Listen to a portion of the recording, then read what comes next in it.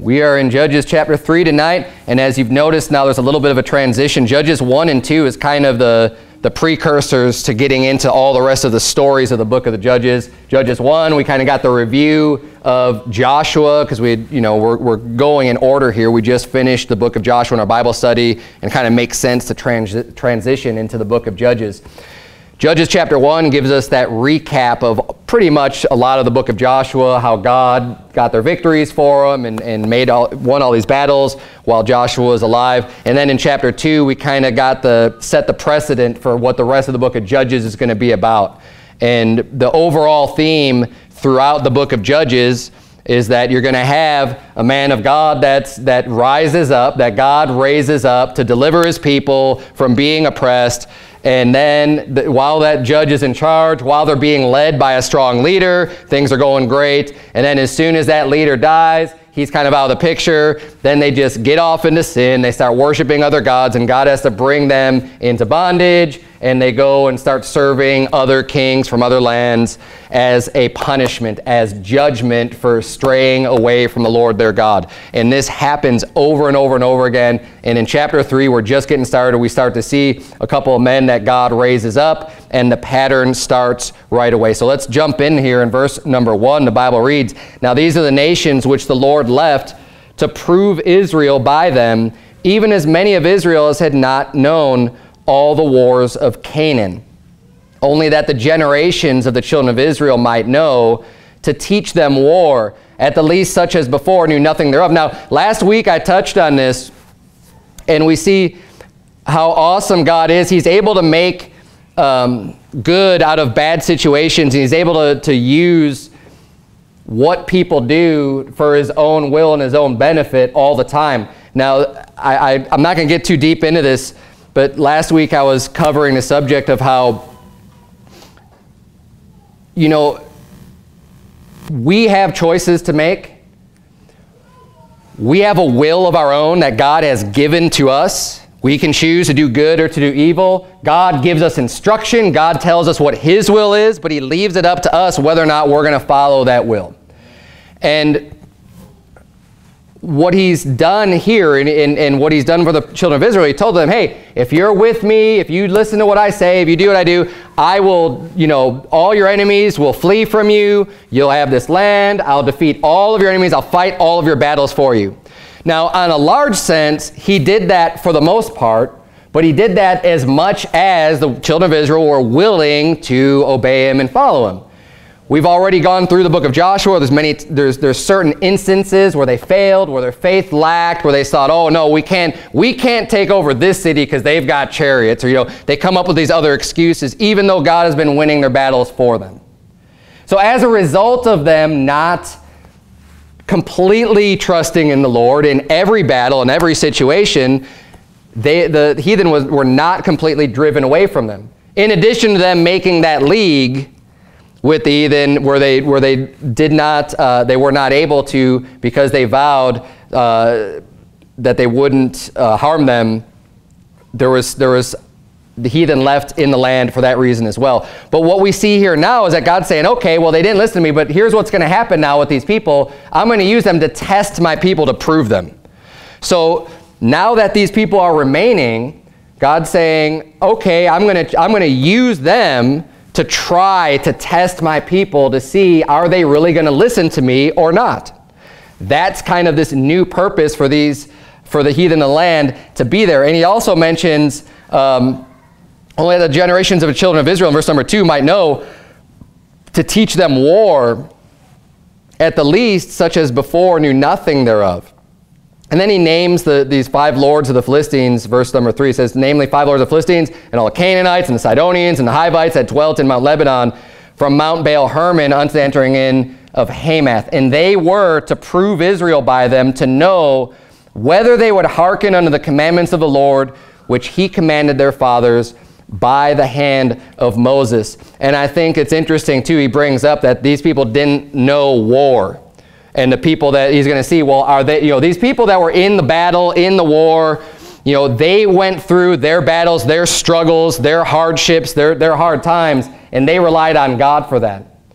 And it's easier to rely on God when you're going through battles, when you're going through difficulties, when you have struggles in your life. That's typically when most people will look to God and say, God, help me. Right? God often will humble people for that purpose. That's the reason why God brings other nations upon the children of Israel is to humble them, to bring them back low again when they stray away. He says, okay, you're getting a little bit too lifted up in your own pride. I need to bring you back down a notch so you'll seek me, so that you look for me. And that's why these, these, now we see why these heathen are left there to test them because now they're going to be left with more battles and more wars to fight. And oftentimes when people don't have to sacrifice, when they don't have to go through battles and struggles, they have a tendency to take things for granted and then kind of lose their way.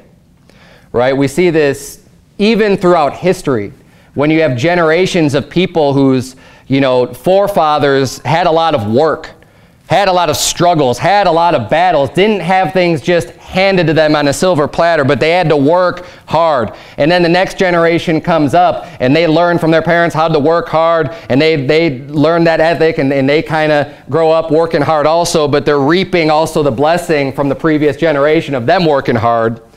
And then you get to that third generation who oftentimes will just kind of have everything given to them because now they're reaping from what their predecessors have sown and, and things are going much better from them from all the hard work. And they have a tendency then to kind of start expecting things, having that spoiled brat type of an attitude or mentality. And once you get into that mindset and that philosophy or way of thinking, then uh, it's going to bring trouble because that usually just people end up getting lifted up with pride. They think we've got everything. Who needs God? And they go into sin. And it's just this cycle, and it, and it seems to repeat over and over and over again. And sometimes people need to go through those battles or those wars. Now, obviously, we're reading about physical wars, like actual warfare and battle in this story, but you can apply that to your own spiritual battles and things that you fight in life. I think those are some of the key things we could learn from passages like this. But let's keep reading here. Look at verse number 5. The Bible reads, And the children of Israel dwelt among the Canaanites, Hittites, and Amorites, and Perizzites, and Hivites, and Jebusites. It lists every single nation that was supposed to be destroyed from before the children of Israel. The Canaanites, the Hittites, the Hivites, the Jebusites, these were all listed way back in the book of Moses when they were going into the promised land, that these were the people of the land of Canaan that God was bringing judgment against. That God said, you know, they need to be utterly destroyed and, and wiped out. And they didn't do it to even one of the nations. Every single one of them remained. Now, they did have a lot of battles where they did execute that judgment in particular cities throughout, you know, as they were going through the land but apparently they just didn't finish the job in the entire, uh, in the entire land, an entire nation.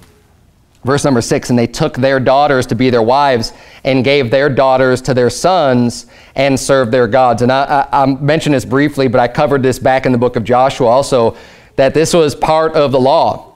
God's law saying not to go and join yourself unto the heathen of the land by making marriages and giving your daughters to them. And basically what you do is you're, you're integrating your families and just mixing in, not because it's not because God's a racist and he cares about like their the color of their skin or anything like that. That's not why God was giving this law of not mingling in with the heathen but it has more to do with, it has everything to do with what they believed because they didn't follow the Lord their God. And the whole purpose is that, hey, if you're going to start giving your daughters to their sons, they're going to start following their gods, the gods of the land around them. And that's evident because the scripture teaches that if anyone wanted to join themselves to be part of Israel, they could have. From any foreign land, from anywhere else, they could have went and joined to become part of Israel according to God's law. It had nothing to do with where they were born, what they looked like. It has to do every single time from Genesis to Revelation about what you believe. That's why the Bible says he is not a Jew which is a Jew outwardly, but he is a Jew which is one inwardly. God's people have been a people of believers. Even as Abraham believed God, and it was counted unto him for righteousness. Romans 4 explains that perfectly. It has nothing to do with your nationality or orange or, or orange origin. It has nothing to do with that. It has to do with, with what you believe. That's it. Very simple. It's not just a New Testament teaching, it's all throughout Scripture. But let's keep reading here. And these people, you know, there's uh, the, the God haters that hate the Bible always want to bring up these examples of, well, how could God say, you know, these people deserve to, uh, to be put to death or whatever. You know, there's women and children and everything. And yeah, you know what? God did bring that judgment upon these nations. But the reason is because of how wicked they had become. And actually, keep your, keep your place here. Let's turn back real quickly to Leviticus chapter number 20.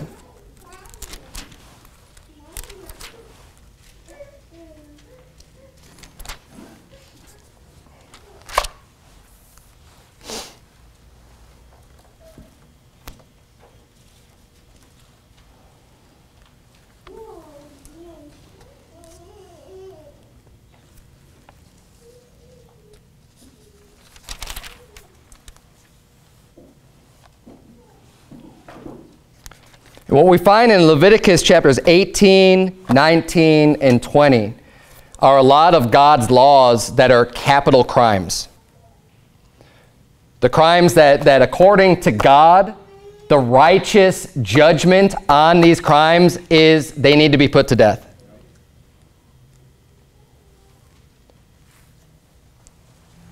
This is the Word of God. And God hasn't changed his mind about how grievous certain sins are. It doesn't matter what the culture says. It doesn't matter what year it is. God's attitude has not changed in all of eternity. Jesus Christ the same yesterday, today, and forever. So when the Bible covers all manner of sin, you know, throughout history, certain things become acceptable and others don't. Even to this day, there's certain sins that people commit that would be like, oh yeah, that's horrible. Those people ought to be put to death. I know there's some people that don't believe in death penalty at all, but there's still a large portion of society today that would still even say, yes, that person should be put to death. For example, if you have someone who's just this serial child molester, right? I mean, someone who's just defiling children. I mean, I would, I would venture to say the majority of people in the United States would say, you know what? Yeah, that person probably ought to be put to death. I don't have any statistics backing me up on that, but I, you know, just through talking to people and seeing what people put just out online, I, would be pretty safe to say that, that that's a pretty grievous, wicked sin. Or like people like John Wayne Gacy, right? I don't think there's that many people have a hard time saying, yeah, they ought to be put to death. So there is still a sentiment of, of that level of righteousness. But what happens is, and what's happened in our society especially, is that certain sins have been either for, for, for many different reasons, I'm not getting all the different reasons, but different sins start to become more acceptable. And, and the wicked influences want to, to get their agenda across to make it normalized as if perverted behavior is not really that bad. And that it really is just a choice and that they're not perverts, but that they're just born that way or whatever excuse they want to come up with as to why something isn't wicked they'll, they, they try to spin that, uh, their, their propaganda into making you think that it's not that big of a deal. And they use, today they're using movies and music and in movie stars and, and all of this stuff to try to convince you that this stuff isn't that bad. But let's look in Leviticus chapter 20. The Bible says in verse number, let, I mean, there's a whole, we're not going to read through all of, all of um, chapter 20, but look at verse number just to give you an idea of what's going on here, what it's talking about. Look at verse number 10. And the man that committeth adultery with another man's wife, even he that committeth adultery with his neighbor's wife, the adulterer and the adulteress, shall surely be put to death.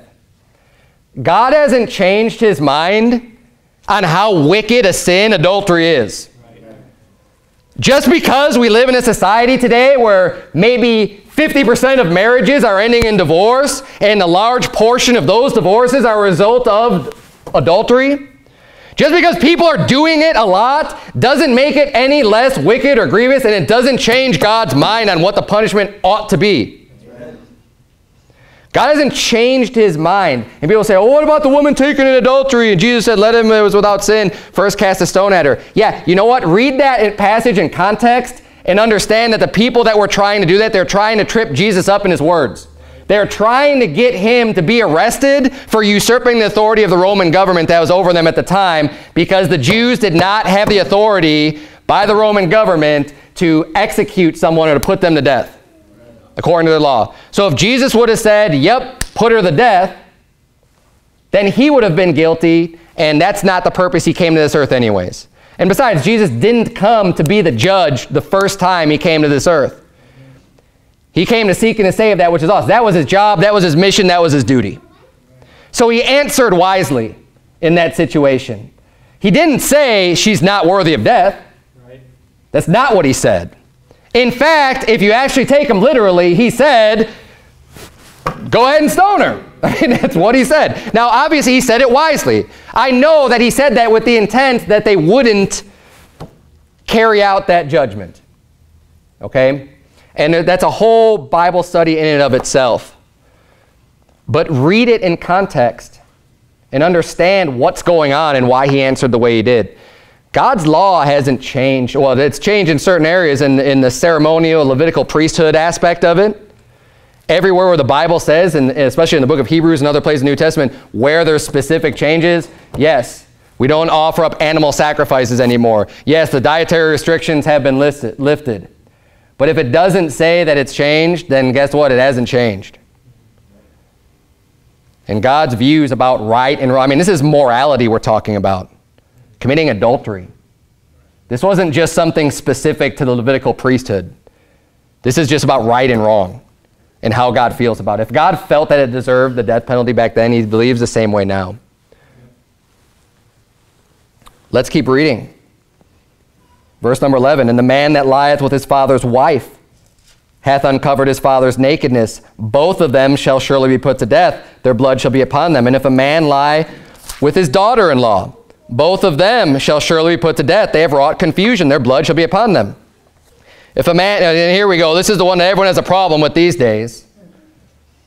And this is going to be probably one of the main reasons for the interview today is, is verse number 13. Leviticus 20:13 is, that, is, is the, the most controversial verse in the Bible in the United States of America today where the Bible says, If a man also lie with mankind as he lieth with a woman, both of them have committed an abomination. They shall surely be put to death. Their blood shall be upon them. I didn't write the book, but I'm going to preach the book. God's attitude towards this hasn't changed. It said in the Old Testament, if a man lie with uh, mankind as he lied with a woman, both of them committed abomination. That means God hates it. God still hates it to this day. And you know what his judgment was on it? The death penalty. It wasn't a prison sentence. It wasn't a fine. It was you just have to put them to death. When we get to Judges 19, we're going to see uh, some of the, the, the problems with, with um, the Sodomites and, and, the judgment of God. That's coming up in the future. Genesis 19, we see where, Lot God, where God destroys Sodom and Gomorrah, raining down fire and brimstone from heaven. That's God's judgment. And you can see, read 2 Peter chapter 2, and you'll see that it still is, those stories were written for an example unto us, that those that after would live ungodly, um, let me, you know, I'm quoting it wrong. Let me just read it for you, 2 Peter chapter 2. I don't want to butcher the word of God. But people always want to say, oh, that's Old Testament, that's Old Testament. How about something from the New Testament? Well, how about something from the New Testament? Because we don't just throw out the entire Old Testament just because of the time period we live in. The Bible says that all Scripture is given by God and is profitable for doctrine. All Scripture. All of it. Not just the New Testament, all of it. That was spoken in the New Testament. That was an epistle in the New Testament. Scripture that people had during the time of the writing of the New Testament was the Old Testament. I mean, that's what was written and that's what they had received. It is Scripture. He's referring to all Scripture. Now, obviously, we had more writings added that are the Word of God in the New Testament. All of it is profitable. The Bible says here in verse number 6 of 2 Peter chapter 2, and turning the cities of Sodom and Gomorrah into ashes, condemn them with an overthrow, making them an ensample unto those that after should live ungodly, and deliver just Lot, vexed with the filthy conversation of the wicked. They were wicked. They were filthy. That's what God, how God describes what was going on in Sodom, and they delivered just Lot. And um, it says here that that was an ensample. That's an example for us to look at and say, hey, anyone that wants to live ungodly like they did, here's how God deals with that. Here's how God feels about that. Yes, in the New Testament, yes, 2 Peter chapter 2 was written after the resurrection of Jesus Christ.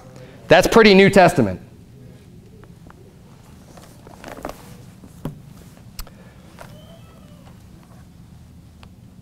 We could keep reading in Leviticus chapter 20. Verse 14, if a man take a wife and her mother, it is wickedness. They shall be burnt with fire, both he and they, that there be no wickedness among, among you. And if a man lie with a beast, he shall surely be put to death, and he shall slay the beast. So he starts going in, uh, and, and this starts getting real weird with this. Like, who would even think of doing those things? Why would that even have to be part of God's law? You think, how, why would you even have to write this down? I mean, that's just bizarre. That is just perverted, twisted, weird, disgusting, should make you want to vomit if you ever even heard of someone doing anything like that. Why would he even have to bring this stuff up and mention it? Well, because it says in verse number 22 there in Leviticus chapter 20, You shall therefore keep all my statutes and all my judgments and do them, that the land where I bring you to dwell therein spew you not out. And ye shall not walk in the manners of the nation which I cast out before you. For they committed all these things, and therefore I abhorred them. And you could go back and read further on, and he's saying they did all of these things. So if you ever wondered, why did God bring such a severe judgment upon the people of the Canaan land when he brought the children of Israel in? That's why.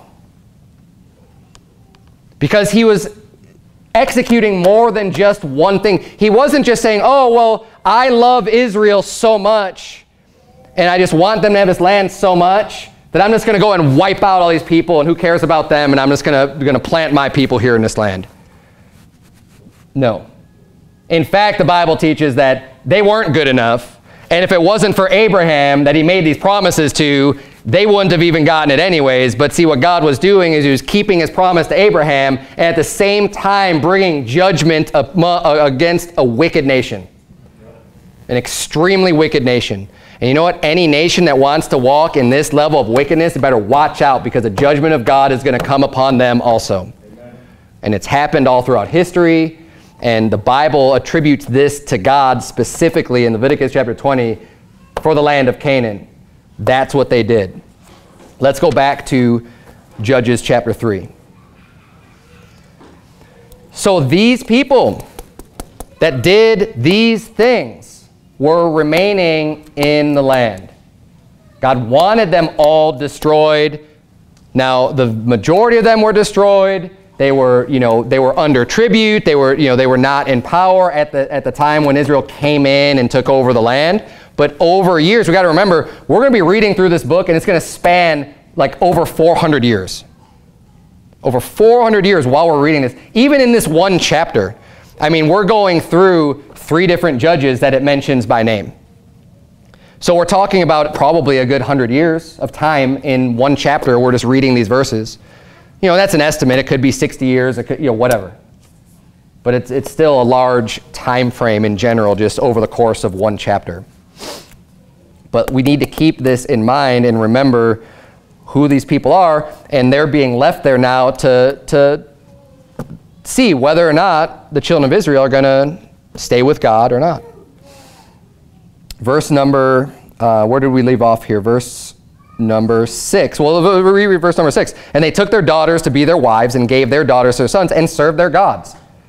So this is what starts to happen already. Children of Israel start turning their back on God. They start intermarrying with the heathen, with the wicked people of the land that, that worshiped and served other gods, that were doing all these things that we just read. And now they're just joining themselves to them and becoming one people. Not a big deal, right? The Lord their God all of a sudden isn't that important anymore. The Lord their God that, that fought their battles for them. The Lord their God that delivered them from bondage. The Lord their God that, that brought them forth out of Egypt. Not that big of a deal anymore. Why? Because probably one of the reasons because they had peace for so long. They didn't know war. They didn't know what it was like to struggle. Everything's being handed to them. They got all this great, and even when they were brought into that land, they didn't have to build their houses. I mean, they literally wiped out the people and just took over the land that they were living in. I mean, it's all established for them. They had cities built already, and they're just moving in. Verse number seven, the children of Israel did evil in the sight of the Lord and forgot the Lord their God and served Baalim and the groves. See, they just forgot all about the Lord. Verse number 8, Therefore the anger of the Lord was hot against Israel, and he sold them into the hand of Cushan Rishathaim, king of Mesopotamia. And the children of Israel served Cushan Rishathaim eight years.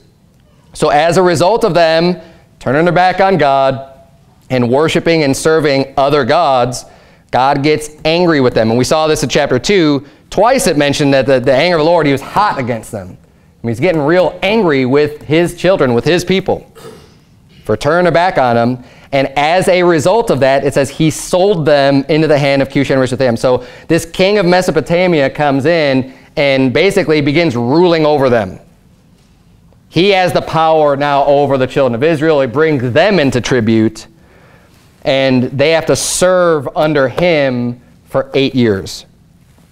And then it says in verse number 9, And when the children of Israel cried unto the Lord, the Lord raised up a deliverer to the children of Israel, who delivered them, even Othniel the son of Kenaz, Caleb's younger brother.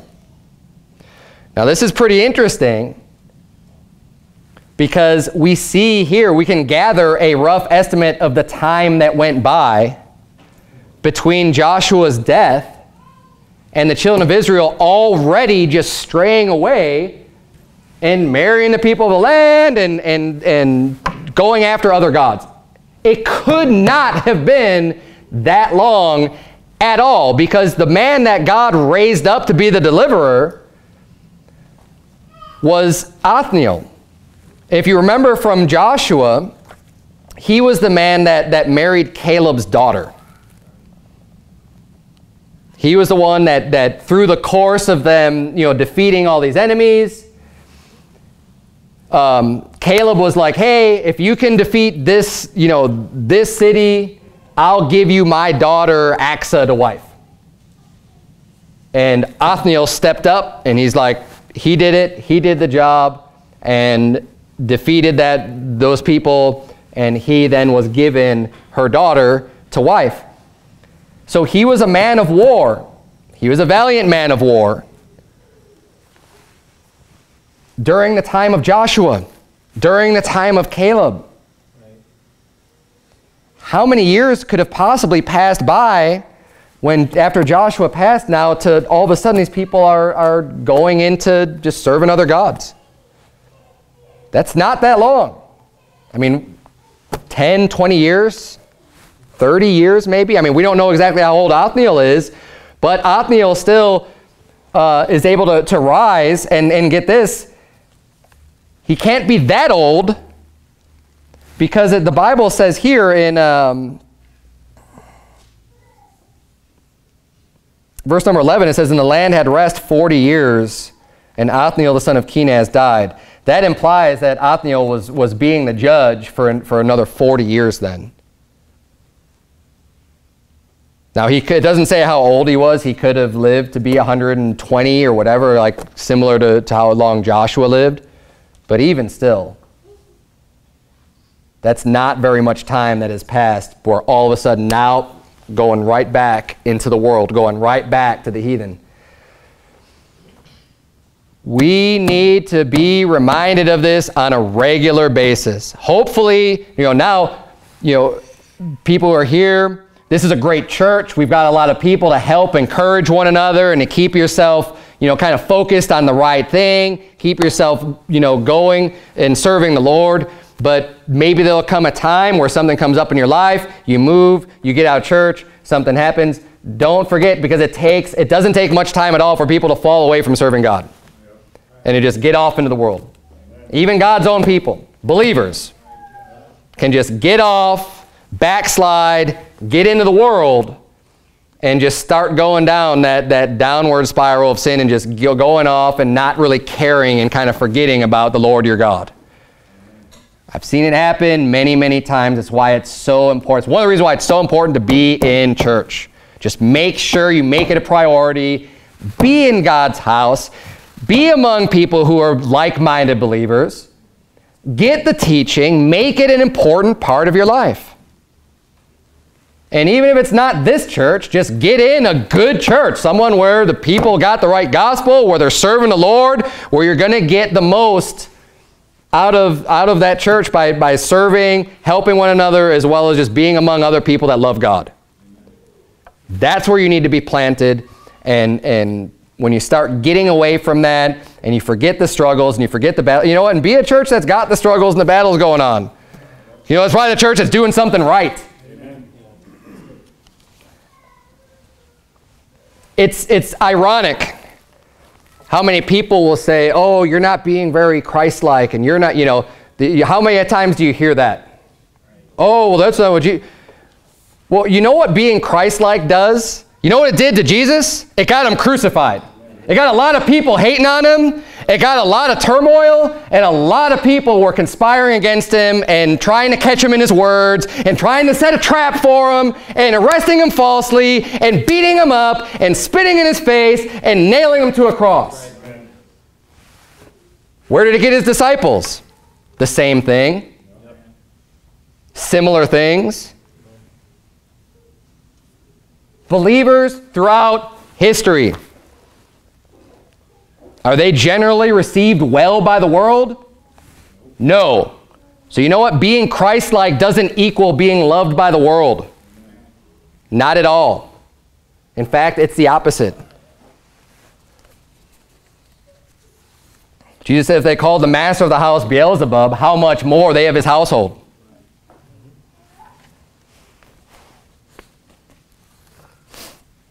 The Christian thing to do, what Jesus Christ did, is to proclaim the truth to preach the word of the Lord without apology, without censorship, unadulterated, thus saith the Lord. Doesn't matter if it offends people.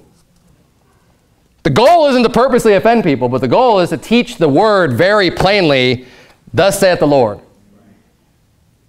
You do with that what you will. But just by shining the light and shining the light of the gospel, there's going to be a lot of people that don't like the light. And it's going to bring a lot of people who hate God and hate the Bible and want to shut you down. Nothing has changed in, in that regard. People are the way that they are. Let's keep reading here. In uh, I, I kind of skipped over some verses, so let's go back up to uh, verse number 9.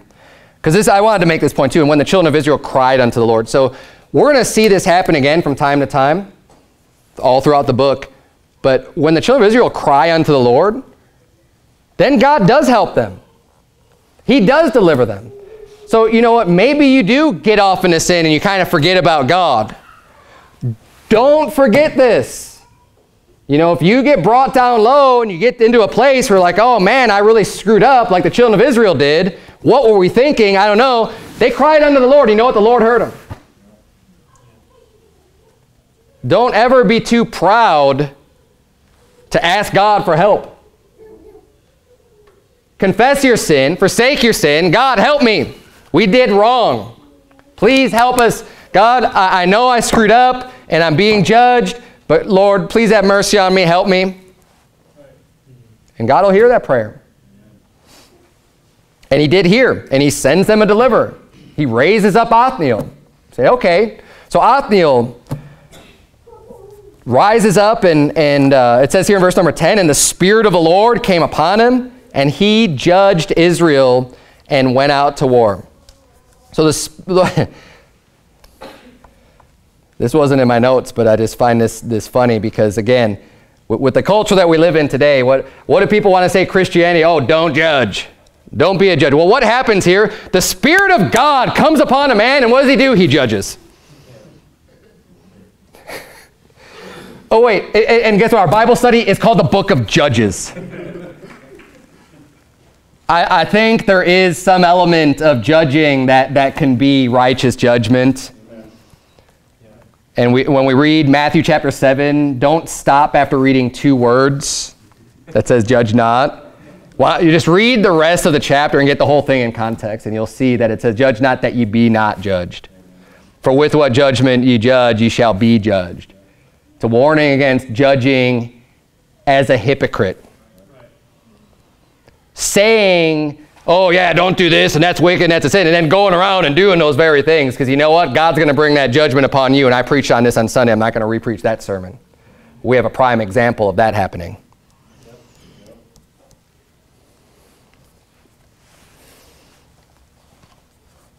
And that's exactly what that's about. It doesn't mean you can't preach the Bible. It doesn't mean you can't tell other people, well, this is God's judgment. You know, when we go out and try to preach people the gospel and explain to them, hey, look, you're a sinner, you deserve hell, and just show what the Bible says, oh, don't judge me. Well, look, I'm not even the one judging you. It's God's judgment. I'm not, I don't send anybody to hell. I'm not going to be there going, aha, you're going into hell, sinner. I'm just trying to point out the facts that God has a law and you've broken those laws. I've broken those laws. We've all broken those laws, which is why we all need a Savior, which is why we all need to put our faith in our, in our Lord Jesus Christ. But just by doing it, it's not, you know, it is a judgment, but it's not my judgment. God's already given us his judgment. Our job is just to, to preach it. Shout it from the rooftops is what Jesus taught. He didn't say hide it under a bushel. He didn't say get, get embarrassed because someone's offended and I don't want to say anything. You don't want to preach the gospel to people, you don't want to preach the word, then according to the Bible, you don't even love those people. You can be polite and never bring up religion because that's taboo, and you can be polite and, send, and, and, and hold that person's hand all the way until they die and go to hell. That doesn't sound very loving to me. Or you can tactfully bring up the gospel and lovingly try to instruct someone and show them, hey, and at least give them a chance. And if they reject that, that's on them, but at least you love them enough to, to say, hey, I don't want you going to that place. Here's how you can avoid it. And that's the whole point. So the Spirit of the Lord came upon him, and he judged Israel and went out to war. And the Lord delivered Cushan Rishathaim, king of Mesopotamia, into his hand, and his hand prevailed against Cushan Rishathaim, and the land had rest 40 years, and Othniel, the son of Kenaz, died. So for eight years they're being judged, and then after Othniel is raised up by the Lord, they experience 40 more years of peace. So things going well again. Let's keep reading. Verse number 12, it says, And the children of Israel did evil again in the sight of the Lord. And the Lord strengthened Eglon, the king of Moab, against Israel, because they had done evil in the sight of the Lord. And he gathered unto him the children of Ammon and Amalek, and went and smote Israel and possessed the city of palm trees. Now, I covered this in, in the book of Joshua, but, but we can, um, I'm not going to go there tonight for sake of time. But the city of palm trees is Jericho. And I think this is interesting. Now, we didn't see in the previous verses that any of their cities had been taken by a foreign entity. They did come under the, the control of a foreign entity, but it doesn't say that they actually lost like one of their cities to a foreign government, to a foreign entity. But here we're seeing now that the very first place where they wrought a victory the city of Jericho, here the city of palm trees was referenced, that they've lost that.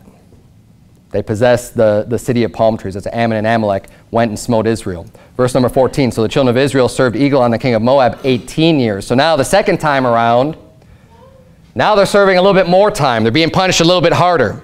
First time it was eight years being judged for, for getting into wickedness and, and serving other gods. They get brought back again. They're good for four years, and now they're, they're straying off again. Now it's okay. Now it's 18 years. You know, think about your own kids. You know, you discipline them the first time for something. Maybe, you know, they should have known better, but they did it. Okay, well, we're gonna we're gonna give them a, a discipline. We're gonna punish them. Then they turn around and do it again, and now it's gonna be a little bit harder the next time. Now, obviously, you know, with your kids, you're not waiting 40 years in between these these events. But 40 years is still, I mean, what is that, one or two, one or two generations? It's not that longer. Still, everybody is still around. There's a lot of people still around from the first time. It's not like it's totally brand new and everybody's just, just didn't know that whole 40-year reign of, uh, of Othniel in, in kind of leading them in the Lord. But we're going to see that, that these, these punishments are going to increase. Verse number 15, but when the children of Israel cried unto the Lord, the Lord raised them up a deliverer. So they cry out again, and God hears them again. And this shows the long suffering and merciness, the mercy of God, is that he's going to continue to hear them when they, when they fall and when they backslide and then want to get right with God. It says, Ehud the son of Gera, a Benjamite, a man left-handed, and by him the children of Israel sent a present unto Eglon the king of Moab. But Ehud made him a dagger which had two edges of a cubit length, and he did gird it under his raiment upon his right thigh. So here we see Ehud is this new judge that's going to be raised up, this deliverer. And what the Bible is telling us here is that the children of Israel were sending him, they're, they're using him to send a present unto the king, unto Eglon. The children of Israel, I don't think, were instructing him to go and kill Eglon. But Ehud, being the, the deliverer that God was raising up, he's the one who decided. That's why he hid this dagger, right? He makes this dagger. He puts it on his right thigh. It says he, he covered it. It was underneath his raiment. It was under his clothing. So he's kind of concealing a weapon. He's concealed carry, right? And he's walking in to deliver this great present unto the king because they're under tribute. So they're sending this guy and saying, okay, we want to keep this guy happy. He's, you know, ruling over us. So they send, um, they send Ehud to go deliver this present. And it's telling us already, well, Ehud made a dagger, had two edges of a cubit length. A cubit is basically the distance, it's about one and a half feet, but from your, your forearm to your, to your fingers, is that's the length of a cubit approximately. So it's a pretty long dagger. I mean, I think of a dagger, I think of something a lot smaller. But this is like, this is like a small sword. And there's a reason why he's given us the length of this. Because later on, he's going to he's gonna stab at him, and the whole thing goes in and doesn't come back out again.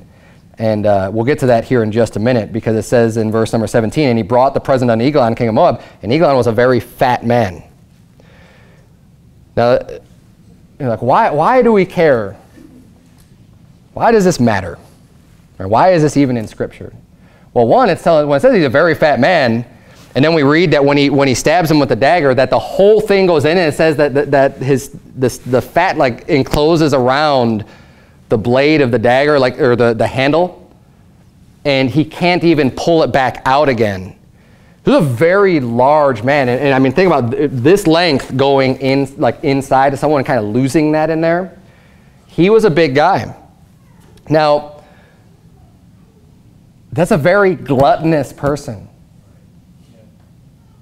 This is someone who's, who's given over to gluttony. I realize there's people that have problems with maintaining their weight for, for physical reasons, but I don't think that that's the reason why God has this in the scripture.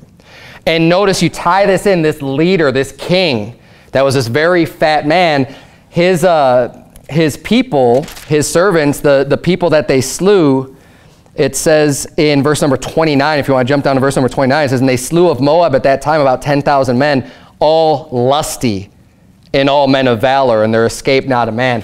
So they were very, you know, they were courageous, they were fighters, but they're all lusty men.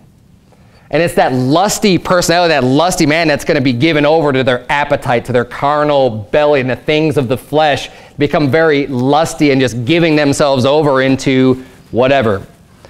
whether it be fornication or drinking or food, and just having this, this lusty appetite and just consuming all that upon yourself. Um,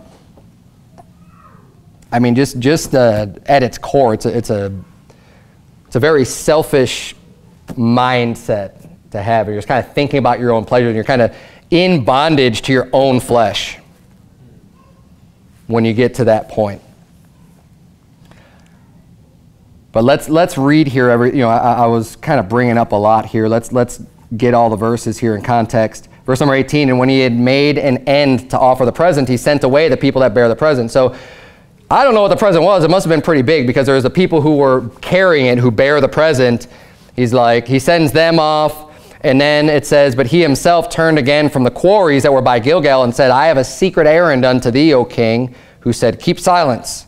And all that stood by him went out from him. So he's like, Hey, I got, I got a secret. I'm on a secret mission for you. So the king sends everybody out. So there's nobody left. And now uh, the, these two are left alone. Verse 20 it says, And Ehud came unto him, and he was sitting in a summer parlor which he had for himself alone. And Ehud said, I have a message from God unto thee. And he rose out of his seat. So he's like, I've got this special, I've got a message from God for you. And you know what? He did. He did have a message from God. Um, God is the one who raised him up to be a deliverer, to deliver the children of Israel from the bondage of this wicked king.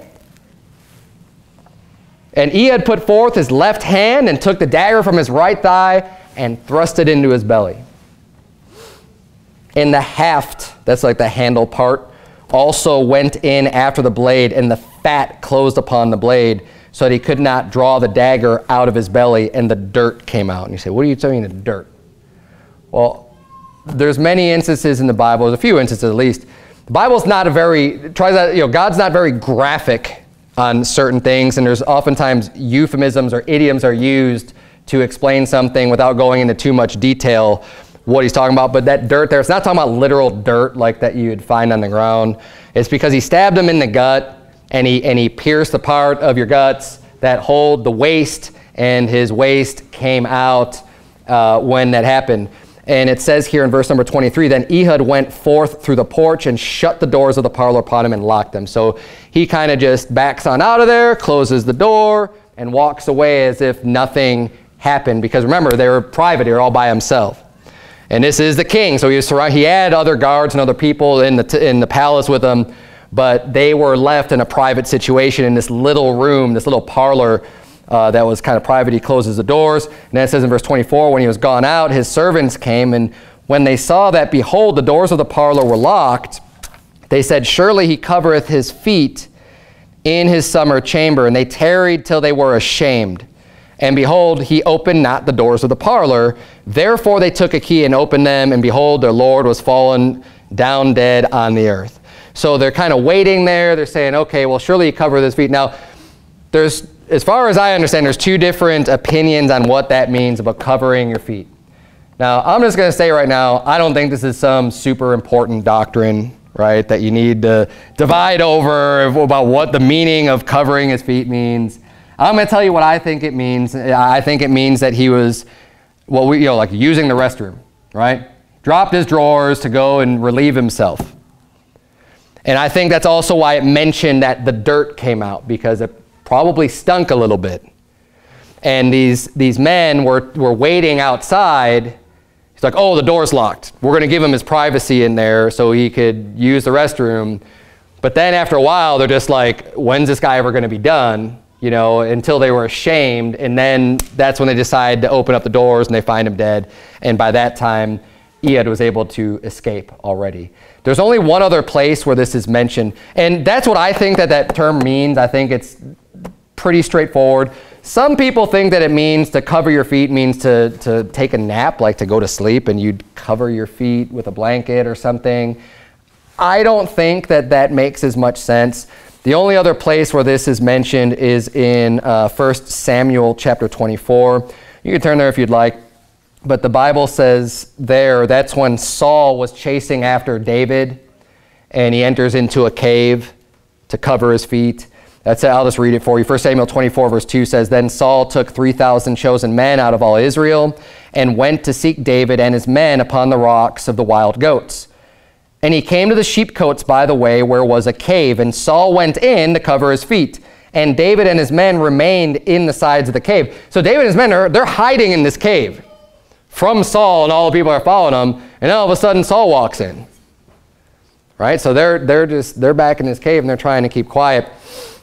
And it says there in verse 4, And the men of David said unto him, Behold, the day of which the Lord said unto thee, Behold, I will deliver thine enemy into thine hand, that thou mayest do to him as it shall seem good unto thee. Then David arose and cut off the skirt of Saul's robe privily, and it came to pass afterward that David's heart smote him because he had cut off Saul's skirt. Now, this isn't a skirt that we would think of today, like where women wear skirts. A skirt is just a lower portion of a garment. It could literally be the lower portion of any type of garment. The skirt is that, that, uh, that bottom portion. So it says here it was the skirt of his robe. So he was obviously wearing a robe, and it's the skirt or the lower portion of that robe. It's not that he was wearing a skirt, even though it says he cut off Saul's skirt. It's, it doesn't take much reading comprehension to see what he's talking about there. But, um, and people say, oh, he was just going in and take a nap. You know, if you believe that, I, I don't care. I don't think it makes really that big of a deal one way or the other. I think it just makes sense that he could have a little bit of privacy inside of this cave, and he was going in there to do this, and, um, and that's what happened. So those are the only two places. I just kind of wanted to bring that up because there are people, I think, that teach differently on that. But um, either way, I don't think that's some major doctrine, but I, am telling you what I believe about that. You come to your own opinion about that. And then in verse uh, 26, we see, and he had escaped while they tarried and passed by the quarries and escaped unto Seirath. And it came to pass when he was come that he blew a trumpet in the mountain of Ephraim, and the children of Israel went down with him from the mount, and he before them. And he said unto them, Follow after me, for the Lord hath delivered your enemies, the Moabites, into your hand. And they went down after him and took the fords of Jordan toward Moab, and suffered not a man to pass over. And another thing that we're going to see over and over again is just the importance of having a strong leader. Someone that can rally the troops, someone that can lead the charge. You, have, you could have a lot of people kind of believe a certain way, but you need to be mobilized. They need to be put into force. That's why the Bible says in Romans 10, even with just with preaching the gospel, Bible says, For whosoever shall call upon the name of the Lord shall be saved. How then shall they call on him in whom they have not believed? And how shall they hear, or how shall they believe on him in whom they have not heard? And how shall they hear without a preacher? And how shall they preach except they be sent? By and large, you're not finding individual believers in Jesus Christ just going off on their own and preaching the gospel of Jesus Christ. You know we're going to find them. You're going to find them in church. You're going to find them under the leadership of someone who's saying, hey, we've got a soul winning time. We're going out. We're preaching the gospel today. Let's all come together and do this work. That's where you find the people evangelizing. It's under that type of leadership and direction. And obviously I'm applying that to church, but we're going to see even just, just in any sense, you know, in general, you know, Jesus Christ refers to people as being sheep. And I don't think it's necessarily in a derogatory way. I mean, he's just saying, hey, my people hear my voice. My sheep hear my voice. Because he's the great shepherd. And that's how God made human beings in general. The, the creatures that we are, we have a tendency to need a leader, someone to kind of lead us around and guide us and help us out. And, and that's, that's our nature. You know, science will, even, even people who don't believe in God will tell you that that's part of human nature. I mean, sociologists, psychologists, you could do, you know, that's just who we are. That's how God made us. And it's a fact of life, and we see that over and over again. When you've got a strong leader in charge, especially one that wants to serve the Lord, then a lot of great things can happen and can help lead a large people from doing wickedness and getting into sin. Why is that important? Because when the people all get into sin, God's going to judge those people. But if, if a, a, great leader can rise up and say, hey, we're going to follow the Lord, we're going to serve God, let's all, let's all respect God's word, let's exalt God's word, let's make the Lord our God. And God's going to bless that people no matter who they are, no matter where you live. God's going to bless those people who call the Lord their God and serve him.